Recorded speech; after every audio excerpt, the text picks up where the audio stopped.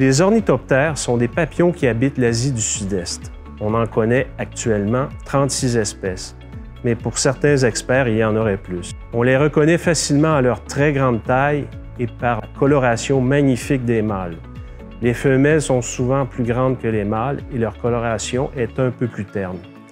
Ils appartiennent à la même famille que notre papillon porte-queue, c'est-à-dire la famille des papillonidés. Comme beaucoup d'insectes qui vivent dans la canopée, ils sont donc très difficiles à capturer.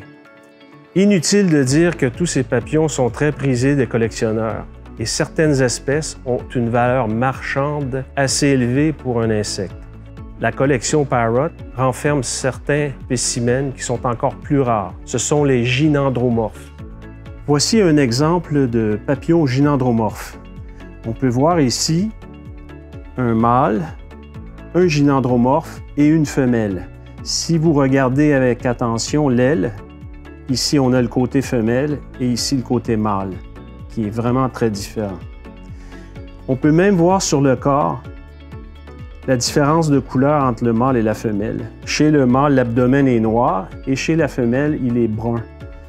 Ici, on a un autre genre de gynandromorphe. Alors, dans ce cas-ci, c'est que l'aile supérieure est en partie mâle et les ailes inférieures sont femelles. Alors voici, le mâle possède des ailes bleues, donc on remarque ici la bande bleue, et puis ici en bas, les ailes sont comme chez la femelle.